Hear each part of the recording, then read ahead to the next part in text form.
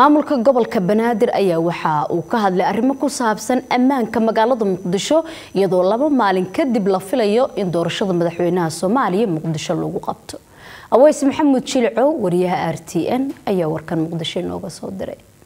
Maalmahaas ayaga ah ciddii dhoofayso waxaan u diyaarinaynaa basaska dowladda hoose ayaa qaadayo yuusuf xuseen jimcaale gudoomiyaha gobolka banaadir waxa uu bulshada warbaahinta u mariyey in saddexda maalin ee soo socota ay sabraan wadooyinkana la xiri doono. Duqa muqdisho waxa uu bulshada ku sabarsiiyey in saddexda bisha ay tahay maalinta uu dalka gali doono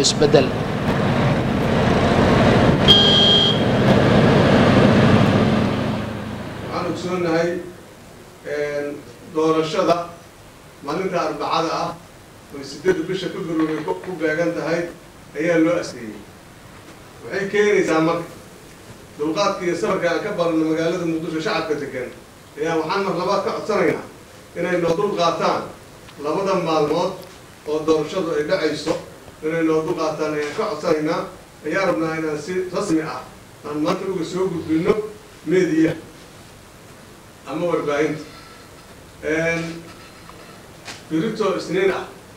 Saacaddu markay tahay maqribtii laba toban saac wixii ka dambeeyo magaalada muqdisho isu socodkeeda aad baa loo xadidi doonaa haddii la yidhaahdo waa maalinta talaadada iyo maalinta arbacada.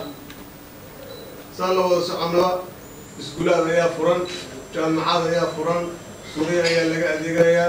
Cid kasta danay ka leedahay magaalada waxaan rabnaa maalintaas oo doorashadu dhacayso iyo maalintaa ka horeyso inta la dul qaadan karo la adkaysan karo in la adkaysto hay'adaha waxbarashada. Waxaan rajaynaynaa haddii la yidhaahdo in ardada culeyska ku dhacaayo ay maalmahaas iskuulaadka iyo jaamacaadka ay ka fasaxaan meelaha xirmayso oo magaalada gudaheeda ah. Ciidamada ammaanka ee dowladda ayaa la dhigay waddooyinka muhiimka ah.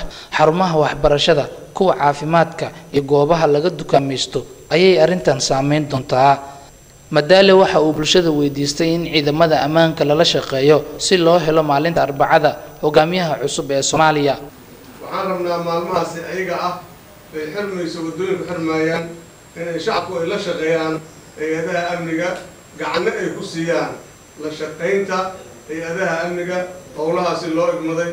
Waxaan ogsoonaa ciidankaynu waxay soo taagan yihiin har iyo habeen ayagoo ilaalinayo geedi socodkii nabadda iyo doorashooyinka iyo amniga shacabka iyo magaalada muqdisho guud ahaan ayay ilaalinayan una taagan yihiin waddooyinka muhiimka ah ee ku yaalla magaalo madaxda gobolka banaadir ayaa la xiraa kolka ay dalka ka dhoofayaan madaxda dowladda. Marka shirar caalami ah lagu qabanayo magaalada xeebta ku taala iyo waqtiyada uu dalku galo isbeddelka aweys maxamuud julcow r t n t v muqdisho